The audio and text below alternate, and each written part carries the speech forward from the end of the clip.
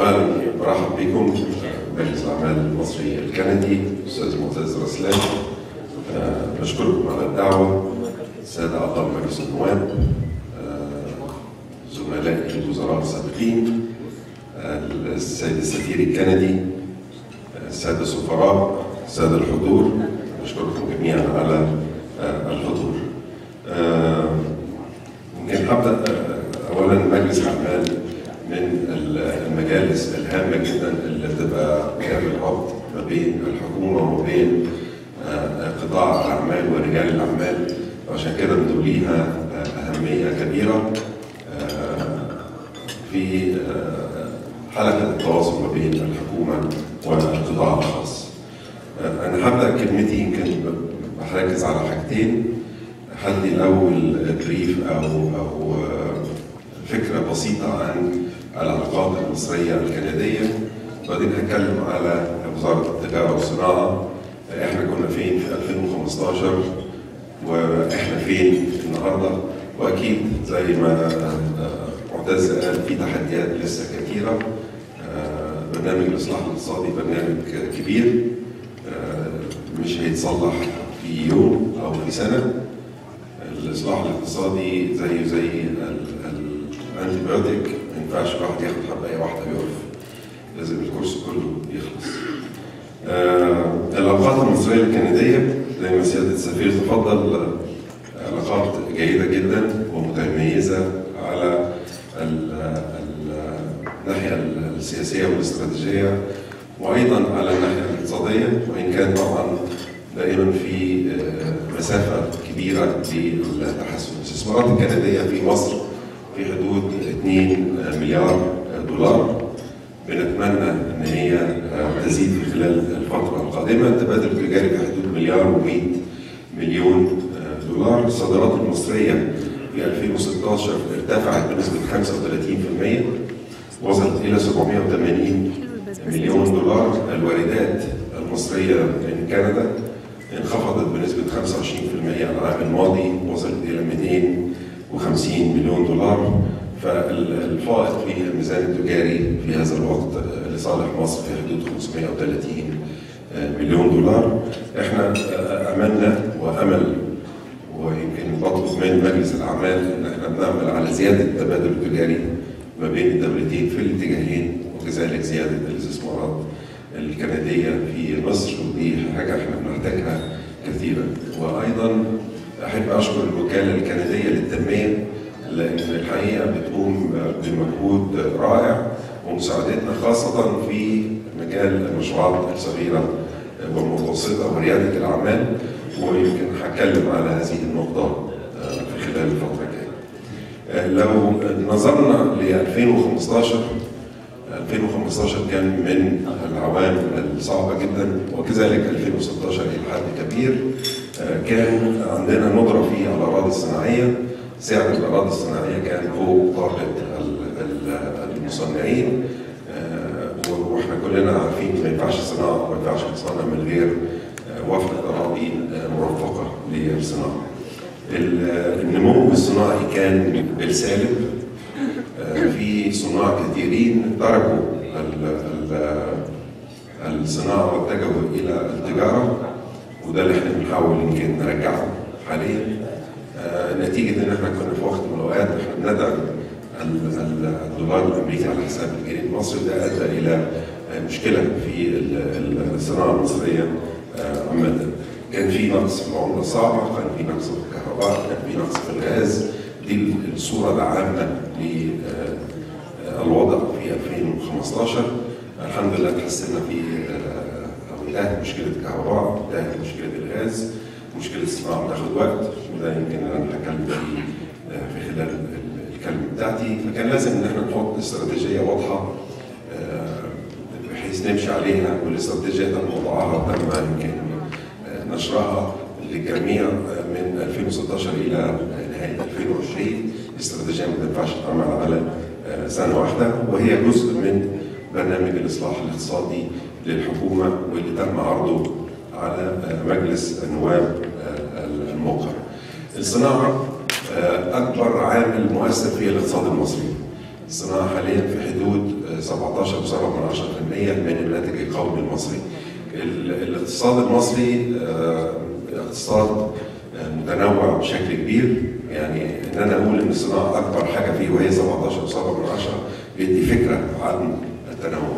الصناعة هي أكبر عامل يليها الخدمات يليها الزراعة يليها السياحة والقطاعات المختلفة.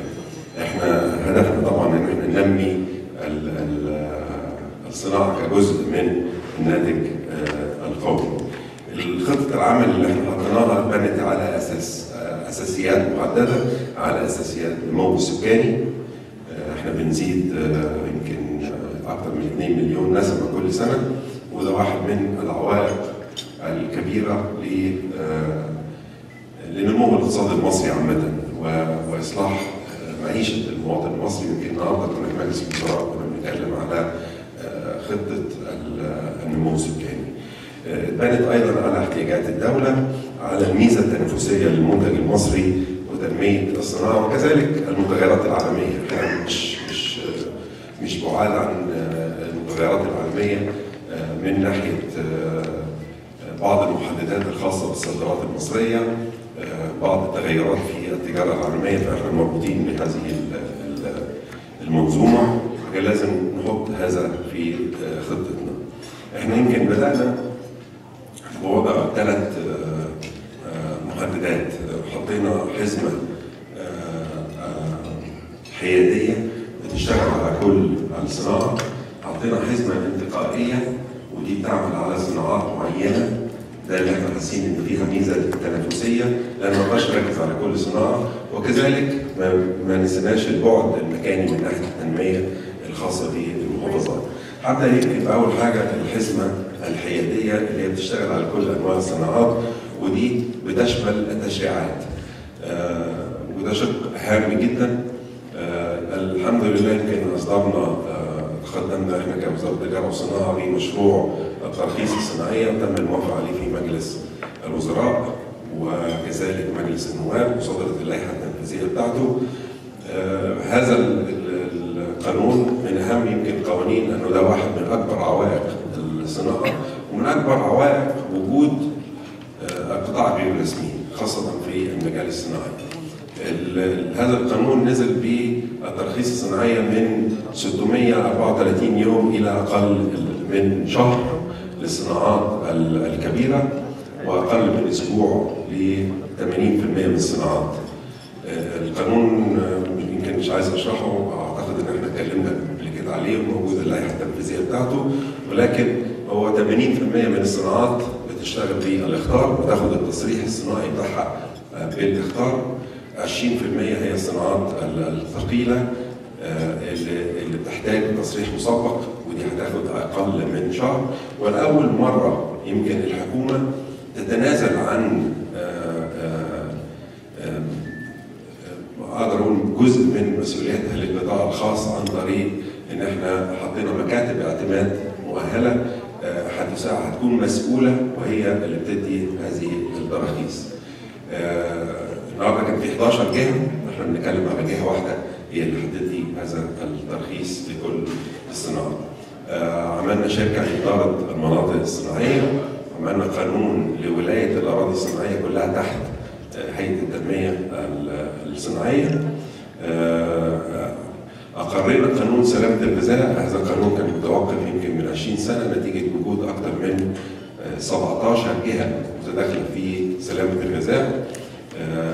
الهيئة انشئت ولها عندها سنة بحيث إنها تقدر تعمل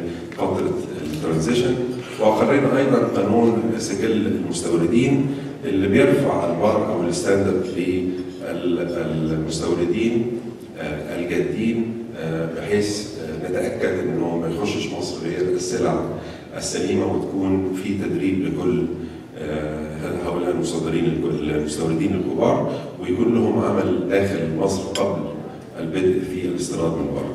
في نفس الوقت عشان نقدر ننفذ هذه الكلام انشأنا هيئات، الهيئات دي كان هدفها أو واجبها إن هي تنفذ هذا التغيير الكبير اللي إحنا بنعمله في الاستراتيجية منها جهاز تنمية المشروعات الصغيره والمتوسطه وده واحد من الأجهزة الهامة جدا.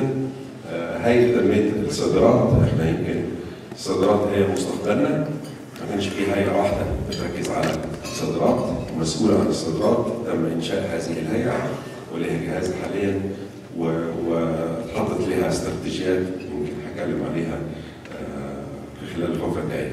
أنشأنا هيئة لتقوم بتنمية المثلث الذهبي ده واحد من المشروعات القومية زي ما إحنا بنحاول نركز على المشكلة اللي إحنا فيها حاليا لكن لازم نبتدي برضه في نفس الوقت بنبص على المدى الطويل المشروع ده يمكن تنفيذه هياخد أكثر من 30 سنة كل فترة لمدة خمس سنوات الاستثمارات المتوقعة منه حوالي 18 مليار دولار ده بيشمل حوالي 10% من مساحه مصر وهيكون عامل مؤثر جدا لتنمية الصعيد المصري بيعمل على تعدين الصناعات التعدينية، الزراعه والصناعات الزراعية والسياحه. تم انشاء هذا الهيئة بقانون خاص عملت خرج؟ يستمر تنميه قناة السويس. في نفس الوقت شركات لبعض المناطق الصناعية مثل روبيكي ودمياط هذا بالإضافة إلى التوسع في الأراضي الصناعية والمجموعات المتخصصة. الحزمة الانتقائية يمكن إحنا ركزنا على أربع صناعات.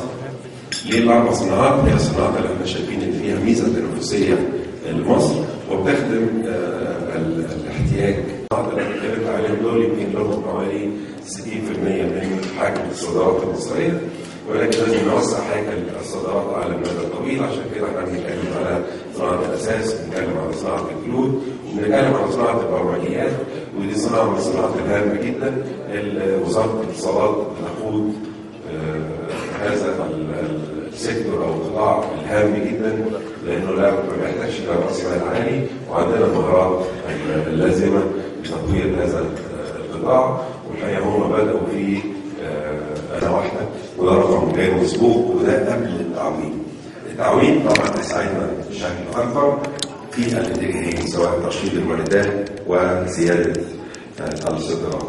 النصف الأول من 2017 الميزان التجاري اتحسن بحوالي 11 مليار 10 مليار نزول في الواردات ومليار في الصادرات ويمكن 10 دقائق قبل ما يجي جاي التقرير الجديد في أغسطس ويمكن في تحسن كبير بحوالي 2.5 مليار دولار زيادة. إحنا بنتكلم عن 11 مليار دولار تحسن في عجز الميزان التجاري اللي هو الفرق بين الصادرات والواردات في 2017 يعني بنتكلم على واحدة مش نسبه في برج العرب وفي اسيوط واماكن عديده. في نفس الوقت البعد المكاني ده بعد مهم جدا هننمي فين وازاي؟ تم تقسيم المحافظات دراستها إلى يمكن ثلاث أو ثلاث كاتيجوريز أو أو قطاعات. محافظات فيها صناعة أقدر أقول متقدمة فدي بنشتغل فيها على تعميق الصناعة مثل القاهرة الإسكندرية الجيزة الشرقية الغربية. صناعات أو أو محافظات فيها تعاقد اقتصادي تعتمد على صناعة أو اثنين لو الصناعه دي اتهزت دخل هذه المحافظة أو نسبة التشغيل هذه المحافظة بيكون في مشكلة. دي بتعمل على توسع الصناعات فيها. وفي صناعات فيها تعاقد اقتصادي غالبيتها هي المحافظات الحدودية اللي تحتاج تنمية شاملة. عشان كده إحنا لما بنيجي نركز على نستثمر فين وازاي بنبص على هذا التجمع بنبص على هذا البعد المكاني. طبعا وضع أهداف واضحة ل 2020 دي اللي إحنا بنعمل لها tracking أو بنعمل لها monitoring كل ربع سنة. إحنا بنتكلم على زيادة نمو الصناعه إلى 8% من يعني سنويا ولو وصلنا إلى هذا الرقم يمكن هنبقى من أكثر خمس 15 دولة في العالم من ناحية النمو الصناعي إحنا حاليا أعلى وأنا هتكلم على هذه النقطة. بنتكلم عن وصول الصناعه إلى حوالي 21% من الناتج القومي ودي تعتبر زيادة كبيرة جدا لأن الناتج القومي لوحده بيزيد كل سنة. بنتكلم على غلط عجز الميزان التجاري بحوالي 50%. زيادة مساهمه القطاع الخاص والمنشآت الصغيرة والمتوسطه بنسبة 10% ولو عملنا هذا الكلام ده كله هنقدر نوصل إلى حوالي 3 مليون فرصه عمل. زي ما ذكرت إحنا مش بنحط هذه الأهداف لسنه 2020 وبنسكت لا إحنا بن- بنراقبها كل ربع سنة. محاور العمل الخمسة اللي إحنا بنشتغل عليهم هم خمس محاور التنميه الصناعيه المشروعات الصغيره والمتوسطه آه، التجاره الخارجية التدريب الفني والمهني والحكامة أو الجفرنس دول الخمس آه، محاور. خلينا نتكلم عن المحور الأول وهو محور التنمية الصناعية وفي الحقيقة هو في حاجات كتير عشان الوقت هتكلم على الحاجات الهامة طرح الأراضي الصناعية آه، دي إحنا كان عندنا مشكلة كبيرة عندنا ناس كتير صناع عايزين آه، الاراضي ما كانش فيه أراضي كافية آه، لأسباب أو لأخرى زائد إن سعرها كان آه، غالي. خلال السنة ونص الماضيين إحنا طرحنا 16 مليون متر مربع. ده آه، يقارن ب 9.5 مليون متر مربع من سنة 2007 إلى 2015. يعني في خلال سنة ونص طرحنا أكثر من آه، أو يمكن قرب ضعف ما تم طرحه في التسع سنوات الماضية. الشيء الجميل إنه بالرغم من هذا الرقم الكبير الا إنه الطلب أكثر من العرض. ودي حاجة جميلة ومحمودة معنى كده إنه آه، آه، في طلب كبير على الصناعة وإحنا واجبنا كدوله ان إحنا نوفر هذه الأراضي المرفقة عشان نقدر الصناعة تبتدي تنمو الصناعه بتاخد وقت آه، من ناحيه البنى. ال- الشق الثاني بدأنا نتجه إلى التجمعات ال- ال- الصناعية المتخصصة والمتكاملة. زي ما إحنا عندنا عشوائيات في الإسكان عندنا عشوائيات الصناعة. العشوائيات دي ظهرت over time آه، لوحدها. آه، منها الروبيكي هذا المشروع أقدر أقول مشروع من المشاريع القوميه الهامة جدا المشروع ده اول قرار صدر ليه كان سنة 1994 آه، وتم التحرك فيه والوقوف فيه أكثر من مرة. إحنا خدنا اعتقد إن إحنا لازم نبتدي نتحرك آه، وننقل آه، صناعة الجلود صناعة من الصناعات الهامة جدا اللي نشأت عشوائية في حتة اسمها مجرى العيون ودي منطقة سياحية ولها آثار بيئية وآثار اجتماعية وآثار اقتصادية. آه، إحنا حاليا بننقل هذه الصناعة إلى أقدر أقول واحد من آه، أحسن التجمعات وأكبر التجمعات المتكاملة اللي هتكون موجودة آه، في مش فقط في مصر يمكن في مصر والشرق الاوسط وافريقيا. آه، المجمع ده مجمع كبير جدا المرحلة الأولى بتاعته انتهت وبنشتغل في تطبيق المرحلة الثانية حاليا في أكثر من 18 مصنع بيشتغلوا في الروبيكي بدأنا نشتغل الان نصدر طب هل إيه الفكرة إن إحنا مش إن إحنا ننقل الناس من هنا لهنا؟ لأ هنلاقي انه ال- ال- وجودهم في مجرى العيون بغض النظر عن الأثر البيئي الكبير آه، في عطر صناعي انه الناس مش قادرة تتوسع. ال- الأجهزة الموجودة هناك أجهزة تقدمت آه، الأماكن ما هياش كبيرة. إحنا وفرنا لكل الصناع اللي هناك آه، أماكن أكبر كتير للتوسع. عشان كده يمكن أغلب الصناع اللي نقلوا نقلوا بماكينات جديدة. عملنا أكبر آه، مركز تكنولوجي آه، موجود لخدمة المصنعين. لأن الصناعه دي لها أجزاء كثيرة مش كل صناعه بيبقى عنده القدرة انه يبقى عنده كل هذه الأجزاء. فبنقدر نوفر له ال- الصناعات التكامليه الخاصة بيه زائد إن في زي آر ان دي أو مركز ابحاث يقدر يساعد آه، الصناع لزياده صادراته وفي أكبر محطه صرف صناعي يمكن على يمكن 250 آه، فدان ودي بترمي المياه على غابة شجرية تستعمل لنمو الأخشاب اللي هتستعمل في صناعة الأثاث. فده مشروع كبير جدا آه، نقله مش سهل نتيجة آه، ظروف قانونية موجودة في الجزء العشوائي الخاص بمجرى العيون. آه، بنعمل كمان مدينة دمياط للاساس آه، ودي هتخدم كل صناعة الأساس. دمياط يمكن تعمل حوالي 70% من انتاج الأساس في مصر. آه، آه، بتكفي السوق المحلي بتصدر 250 مليون آه، دولار. إحنا بنعمل على زيادة هذه الصادرات إلى مليار. إحنا بدأنا طرح هذه المصانع الصغيره يمكن في أكثر من 1550 مصنع صغير زائد المصانع الكبيره آه، تم طرحها الأسبوع الماضي. وحاليا البناء شغال واعتقد إن شفت ساعه افتتاح سياده الرئيس هو وضع حجر الأساس من آه، من سياده الرئيس من حوالي ثلاث شهور. برضه فيها أكبر مركز تكنولوجي لصناعه الأساس. فيها صالة معارض فيها اوتيلات بنتكلم على مدينة صناعية آه، بالمعنى المفهوم. ده اللي إحنا بنحاول نعمله. عملنا كمان آه، مدينة صناعية للغزل والنسيج في مدينة بدر داخلها مجمعات صغيرة.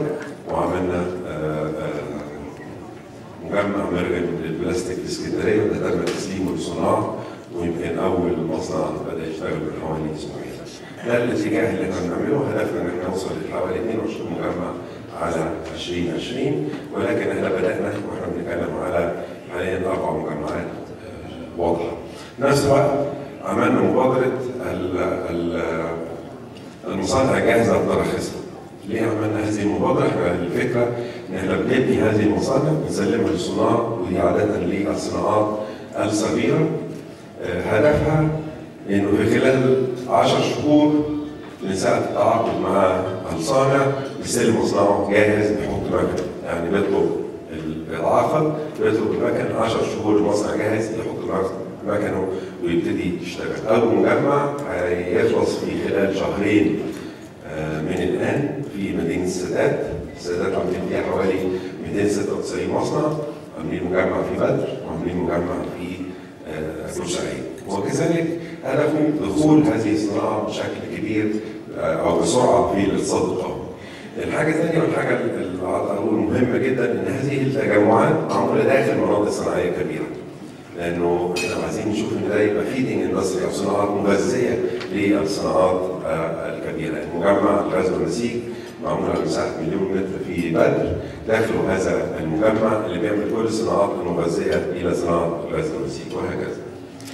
خريطة الاستثمار الصناعي واحدة من الحاجات الهامه جدا المشروعات اللي إحنا عملناها اللي بتجاوب على سؤال لو واحد عايز يستثمر طب استثمر فين وازاي؟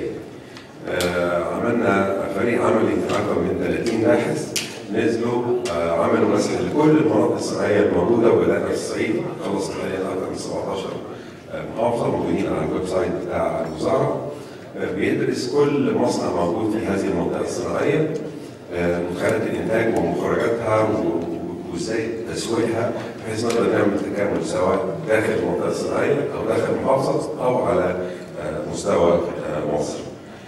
طبعا اشتغلنا في حاجات أخرى منها الاتصال البحث العلمي منها الاقتصاد الأخضر من ناحية توفير الطاقه وال waste اللي هو سواء solid أو liquid waste.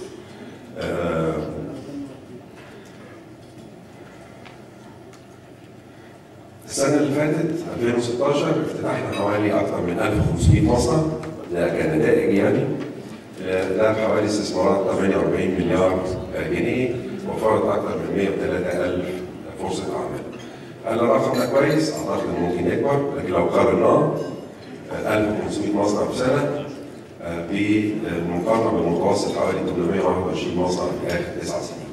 فإحنا برضه بنتكلم في حدود ضعف هذا الحاجة اللي يمكن بتطمني أكثر إنه بغض النظر عن فتح هذه المصانع تم الموافقة على توسعات ومصانع جديدة بأكثر من 5000 مصنع.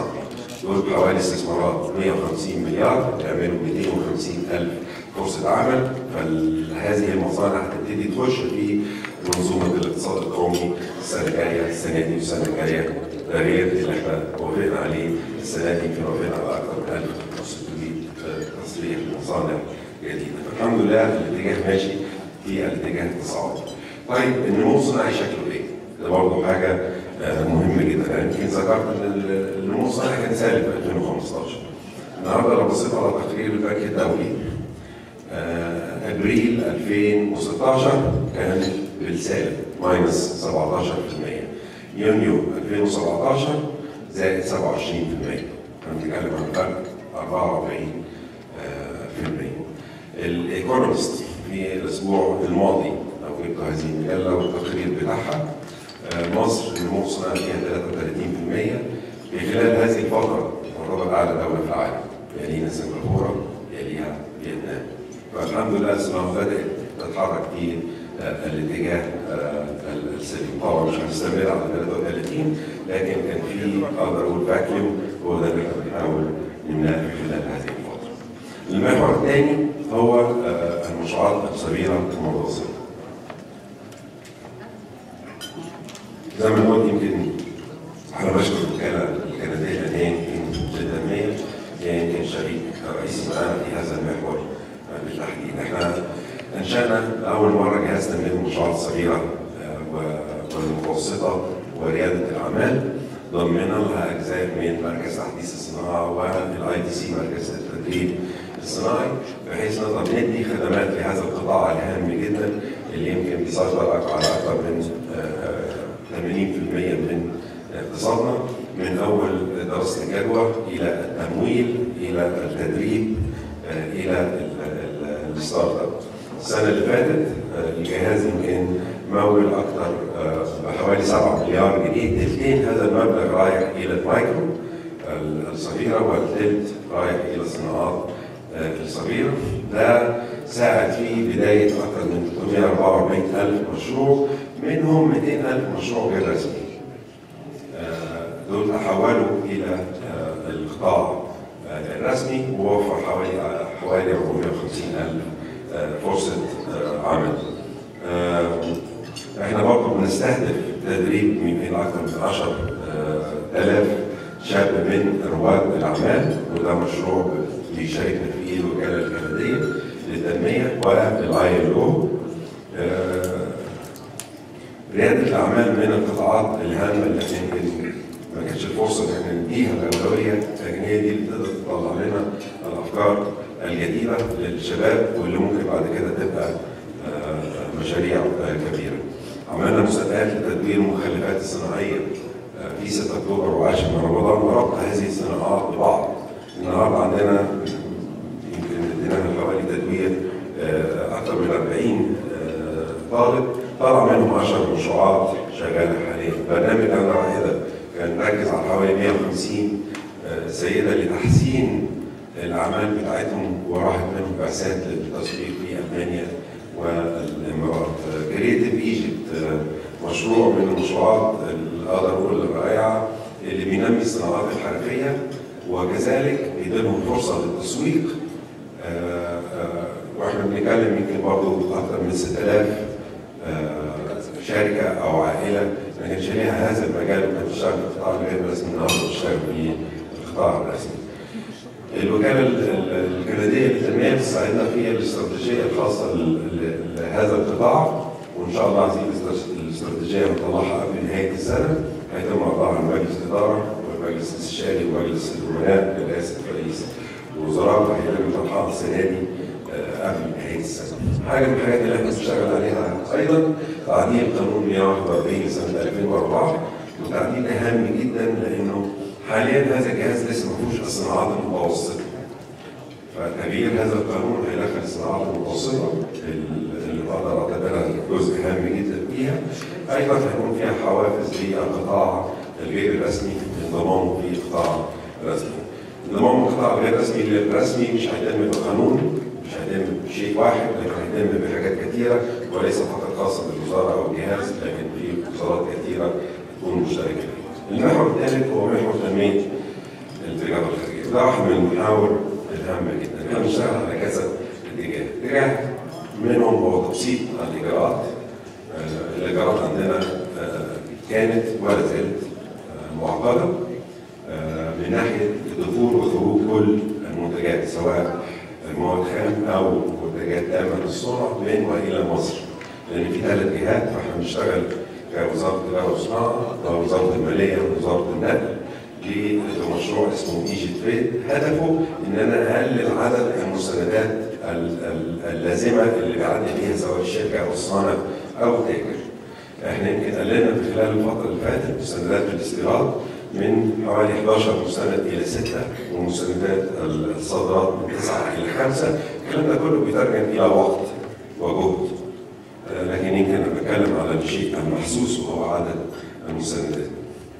آه، جهاز تنميه ال- الصادرات آه، عملنا استراتيجية واضحة استراتيجية عامة على مستوى العالم استراتيجية متخصصة آه، لافريقيا لأنه من وجهة نظرنا أفريقيا هي ال- ال- المكان اللي إحنا عندنا فيه ميزة تنافسية كبيرة حددت بالظبط إيه هي القطاعات اللي إحنا عايزين نركز عليها على كل آه، منطقه في العالم وكذلك بنعمل استراتيجية قطاعية سواء الصناعات الكيماوية أو الصناعات الهندسية أو صناعات الغزل والنسيج انتهينا يمكن من قطاعين وفي أربع قطاعات حاليا قريب جدا هيكونوا خالصين.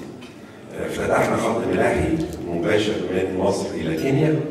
افتتحنا التعاون مع القطاع الخاص ExpoLink أول مركز لوجستي في كينيا. إحنا بنتكلم عن شرق أفريقيا وبنعمل على غرب افريقيا ودي المنطقة اللي إحنا محتاجين نتحسن فيها بشكل أكبر واسرع. أخذنا قرارات يمكن كوزارة التجارة والصناعة في 2016 ل التاكد من إنه المنتجات عاليه الجوده هي بتستهلك العملة الصعبة وهي اللي بتخش مصر عن طريق تسجيل هذه المصانع. هذه القرارات أدت إلى تحسن كبير في الميزان التجاري الخاص بمصر.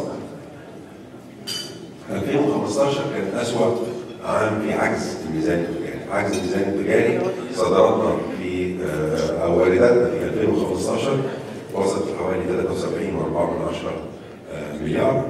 وارداتنا انخفضت إلى 18 و3 من عشرة. نتكلم عن عجز الميزان التجاري بحدود 52.9 مليار دولار. ده عجز ما نقدرش نكمل بهذا الأسلوب. هذه القرارات ساعدت في انه عجز الميزان التجاري انخفض 2016 بحوالي 8 10 مليار دولار منهم 8 مليار نزول في الصادرات الواردات و2 مليار زيادة في الصادرات، إحنا بنتكلم عن حوالي 17% تحسن في العجز التجاري في سنة واحدة 37% بنتكلم عن 21 مليار دولار في سنة ونص ده رقم كبير. طيب ليه الصادرات ما زادتش بنفس نسبة نزول الواردات؟ ده شيء طبيعي لأنه لو جينا بصينا لكل القطاعات من ناحية الواردات كل قطاعات الدولة بالكامل نزلت من ناحية الواردات، يعني إحنا بنتكلم على الملابس تحت نزل حوالي 59%، المفروشات نزلت حوالي 39%، السلع الهندسية نزلت 30%، الأثاث نزل ب 29%، كل القطاعات نزلت. ده عامل إيه؟ ده فتح المجال للصناعة المصرية انها تعوض هذا النزول في الواردات وده اللي بيفسر ليه نمو صناعي عالي جدا لأنه كان زي ما بقول في فراغ كبير وده قوم قطاعات كبيرة تقدر تسد هذا العجز. إحنا حاليا بنركز هنركز أكثر على في الفترة الجاية على تنمية الصادرات لأن ترشيد الواردات له حدود. بعد كده لازم نبتدي عشان نقدر نرشد الواردات بشكل أفضل لازم نبتدي نخش في تعميق الصناعة، لازم نبتدي نخش في تصنيع ماكينات. آه 39% من حجم الواردات مصر عبارة عن سلع استثمارية، خطوط إنتاج هامة للصناعة، دي صعب جدا ترشيدها في وقت سريع، ده اللي إحنا هنشتغل عليه. الترشيد هيبقى عن طريق التعميق. تعميق الصناعة. نفس الوقت يمكن في خلال الفترة السنة اللي فاتت دربنا أكثر من 3400 مصدر في شركات كثيرة على أسلوب التصدير وعلى إزاي نقدر نشوف حجم الأسواق ويركز على التصدير فين 23 شركة في الترويج. وبننشا حاليا إن شاء الله هيفتتح يمكن الشهر ده أو الشهر الجاي أكبر مركز تدريب مصدرين في 6 أكتوبر. هيئه كل الخدمات التصديرية والتدريب للمصدرين وبنعمل منصة تفاعلية بورتال بيساعد المصدرين إنه يعرف إيه اللي بيحصل في العالم حجم السوق قد إيه بحيث نقدر نركز أكثر على التصدير في خلال الفترة القادمة. المحور الرابع هو التدريب المهني وده إحنا بنشتغل فيه على المحاور الأربعة وهم المدرس والمركز والطالب والمنهج عملنا شغل كتير خلال الفترة اللي فاتت التدريب المهني من الحاجات الهامه جدا لاي صناعة. يمكن دربنا أكثر من 680 مدرب وميسر أو فاسيليتيتور. بنعمل حاليا على تطبيق أكثر من 80 مدرسة صناعية عن طريق البنية التحتية. بدأنا نربط التدريب مع القطاع الخاص. عندنا مصلحه كفايه تجاريه في أكثر من 44 مركز تدريب منتشرين في 17 محافظة بيدربوا مهن معينة. بدأنا ندخل معانا القطاع الخاص النهارده في مركز شركة سيارات واحدة واحد من المراكز بتستعمل نفس المدرسين بل بالعكس بتطورهم وبنطور المنهج آه وده هيؤدي إلى إن يبقى عندنا أقدر أقول qualified technicians بيطلعوا في مركز آخر خاص بصناعة البلاستيك وبنعمل على التوسع في هذا الاتجاه. التدريب من أجل التشغيل ده واحد من اللي إحنا بنشتغل فيها تدربوا أكثر من 20000 متدرب بغرض التشغيل السنة اللي فاتت وعملنا تشغيل أكثر من 35000 وظيفة. دي وظيفة فعلية. نشوف احتياجات الشركات إيه. إحنا بنعين الناس وبندربهم ونرجع نحطهم عقود مع هذه الشركات. الوكالة الولايه للتنمية بتشتغل معانا في مشروع في أسوان على 6000 متدرب في قطاعات الكهرباء الهندسة الكهربائية والطاقة المتجددة والتصنيع الزراعي والتمريض مشروع هام جدا وخاصه في اسوان. المحور الأخير وهو الحوكمة ده واحد من أقدر أقول ال enabler لكل اللي أنا قلته قبل كده لأنه من غير ده يمكن كان هيكون صعب ان إحنا نحقق كل اللي إحنا حققناه خلال الفترة اللي فاتت. إحنا يمكن منذ انشاء وزارة التجارة والصناعة هي بتشتغل كوزارتين في اثنين ديوان وزاره في كل حاجة مكررة عملنا لأول مرة اعاده هيكلة لهذه الوزارة بحيث إن يكون في هيكل واحد فقط لوزارة التجارة والصناعة آه تم تفعيله من أول آه العام المالي. آه نزلنا من أكثر من 36 هيئة إلى 25 هيئة. وقدرنا فيهم نقدر نطلع هيئات جديدة محتاجينها مثل هيئه آه تنمية آه الصادرات. دي يمكن أقدر أقول المرحلة الأولى من اعاده الهيكله، المرحلة الثانية هنبتدي نبص على الهيئات المعنية منها هيئة تنمية الصناعة، رقابة الصادرات والمنتجات والتقنيه الانتاجيه وخلافها. ده فكرة بسيطة ان إحنا كنا فين وبقينا فين. لسه في تحديات كبيره آه لسه بنعمل على زيادة الأراضي الصناعية بشكل سريع. إن شاء الله خلال الثلاث أسابيع آه القادمه سيتم طرح أكثر من 8 مليون متر مربع في مدينة السادات والعاشر آه من رمضان. سعيد يوم ما نوصل إلى إنه عندي أراضي كثيرة. وأي واحد صانع عايز أرض بيبقى عندي كل الأراضي اللي الصناع بتحتاجها. فإحنا حاليا زي ما بقول بنملى يمكن ال pipeline اللي كان فيه فراغ بقاله فترة كبيرة. آه زائد طبعا تعميق الصناعة ودي حاجات كثيره إحنا بنعمل آه يمكن أنا أحب أشكر كل الصناع المصريين لأنه الكلام ده عمره كان هيقدر يحصل نقدر نوصل له الا الا ان الصناع المصريين آه هم اللي استثمروا خلال الفترة اللي فاتت. هم اللي عندهم إيمان بحجم السوق ونمو السوق. إحنا كلنا بنعمل كحكومه على زياده الاستثمار الخارجي، الاستثمار الخارجي يمكن بياخد وقت. هذا الوقت اللي إحنا يمكن بنعول فيه على المستثمرين وعلى القطاع الخاص والشركات الموجودة في مصر. يمكن اختم كلامي بفكره بسيطة عن النتائج الخاصة ببرنامج الإصلاح. الاقتصادي ده تم إعلانه طبعا من الحكومة. الحمد لله كل المؤشرات ماشية في الاتجاه الصح. احتياطي البنك المركزي يمكن حصل له أكثر من تضاعف في ستة أشهر. عجز الميزان عجز الموازنة بينخفض.